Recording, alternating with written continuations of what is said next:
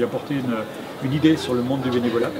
S'il souhaite faire une formation dans l'humanitaire, par exemple, il peut rencontrer des associations qui sont plus ou moins professionnelles, des associations relativement importantes, en logistique, euh, un mouvement de bénévoles qui est relativement important, donc ils vont toucher un petit peu à tous les domaines, soit la distribution alimentaire, soit l'accueil, euh, et ça leur apporte euh, bah, peut-être un équipe pour leur profession plus tard.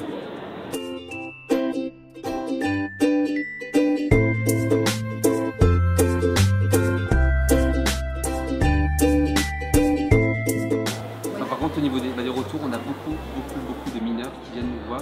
C'est vrai que pour les mineurs, c'est beaucoup plus compliqué. Alors du coup, euh, c'est le, souci. L'année dernière, c'était déjà un petit peu le cas. On était à un tiers de mineurs.